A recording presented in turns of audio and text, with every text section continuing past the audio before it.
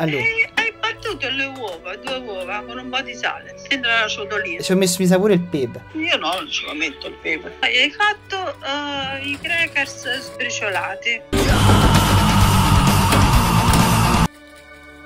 Hai messo la carne prima nell'uovo e poi l'hai panato nella, con la farina di crackers.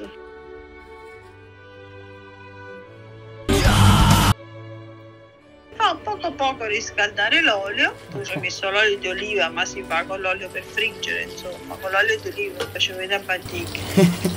Ci ho messo un po' di sale, non lo so, l'avevi messo nell'uovo il No, sale. no, l'ho messo pure dopo, l'ho messo. E Ok. quindi ti sono piaciute? Sì,